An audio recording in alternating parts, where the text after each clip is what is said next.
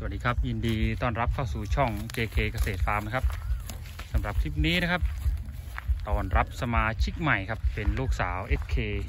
536 นะครับ ตัวนี้ เป็นลูกสาว SK 536 ครับ ลงเครื่องมาใหม่ๆ ครับตัวนี้ นี่ มีโลมาแล้วหนึ่งตัวครับตัวนี้ท้องว่างครับ จะใส่ KF 31นะครับตัวนี้ นี่ยนี่ครับ รับสมาชิกใหม่เลยครับ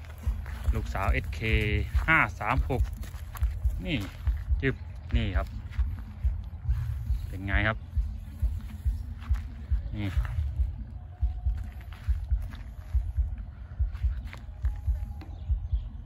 นี่ตัวนี้ไม่มีเครื่องดำครับ ตัวนี้เป็นเครื่องแดงครับ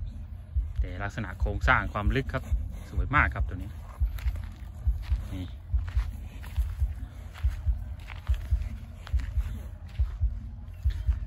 นี้ ก็เนี่ยนี่เฮ้ยเร็วนี่ครับนี่เป็นเลือด 50%นะครับ F1 ครับ แต่ยังไม่ได้ตีแบนครับ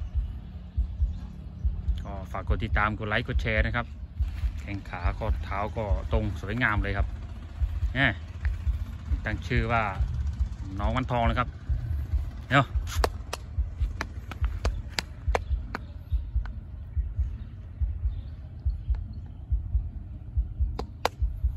เอาหันมา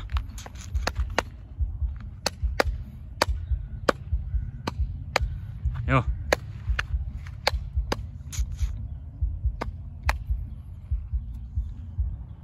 นี่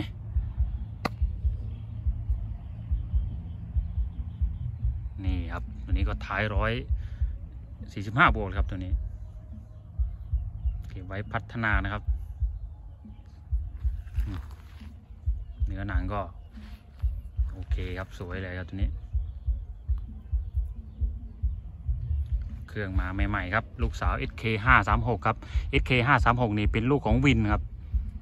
วินนี่เป็นลูกของพาสปอร์ตครับ สายแม่ของ SK 536ก็เป็น SK จะเป็น SK สาย SK ครับ เป็นแม่สาย SK ต้องดูใบอีกทีครับ ลักษณะชีสก็กระชับดีครับนี่ครับลูกแรกก็เป็นลำกีลำปีสกินตายนะครับ